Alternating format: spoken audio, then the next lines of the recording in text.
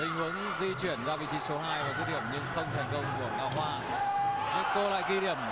Không phải, bóng vẫn ở trong sân. Vừa rồi là tình huống mà bóng chưa chạm sàn.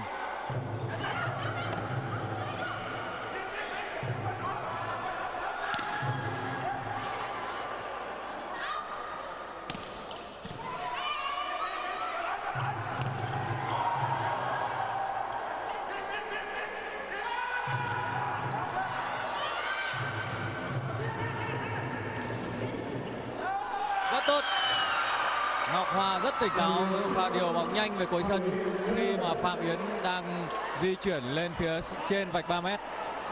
Tỷ số là 7 đều.